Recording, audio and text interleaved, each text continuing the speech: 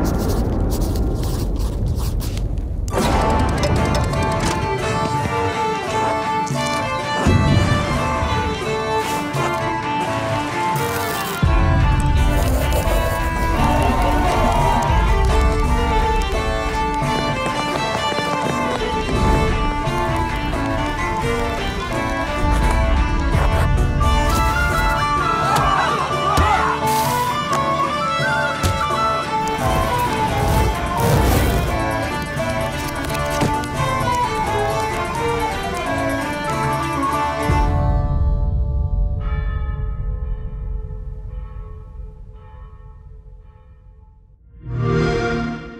play it day one with Game Pass.